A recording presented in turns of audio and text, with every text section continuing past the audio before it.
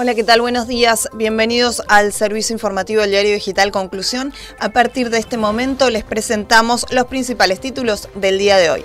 Más de 440 ciudadanos han sido repatriados de Guam con el mecanismo de protección civil de la Unión Europea.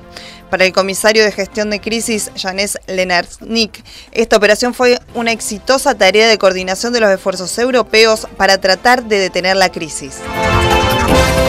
China acusa a Estados Unidos de sembrar el pánico por el coronavirus. La cifra de muertes se elevó este lunes a 361 y los infectados son 17.238. La portavoz del Ministerio de Exteriores del país asiático afirmó que Estados Unidos todavía no ha ofrecido ayuda sustancial al tiempo que se dedicaron a propagar el miedo. Nacionales. Murió el juez federal Claudio Bonadillo.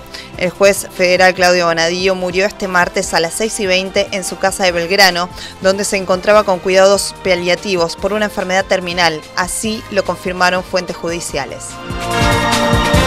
Dos muertos y 30 heridos al volcar un micro de pasajeros en la autovía 2 en San Borombón. El siniestro, cuyas causas se investigan, ocurrió poco después de las 6 de la mañana en el kilómetro 93 de la ruta, en la mano que va a Capital Federal. Senado, Juntos por el Cambio, adelantó que apoyará la ley de sostenibilidad de la deuda.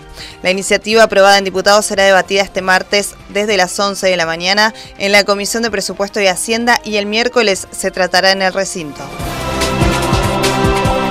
El presidente Fernández llegó a España en busca de respaldo por la deuda y se reúne con Pedro Sánchez. El mandatario argentino se reunirá en Madrid con el presidente del gobierno español, Pedro Sánchez, y además con el rey Felipe VI.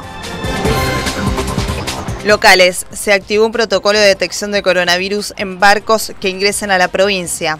Si bien desde el Ministerio de Salud de la provincia aseguraron que las posibilidades de que el virus lleguen son muy bajas, aseguraron que Santa Fe está preparada lanzaron la novena etapa de precios justos con nuevos productos y descuentos. Del acto participaron el intendente Pablo Hafkin y el secretario de Desarrollo y Empleo Sebastián Chale. Ambos destacaron el éxito del mismo y remarcaron que hay más de 100 comercios adheridos y que el programa ofrece unos 150 productos, incluidos algunos para celíacos. Esto es todo por hoy, pero pueden encontrar mucha más información ingresando en www.conclusión.com.ar. Gracias.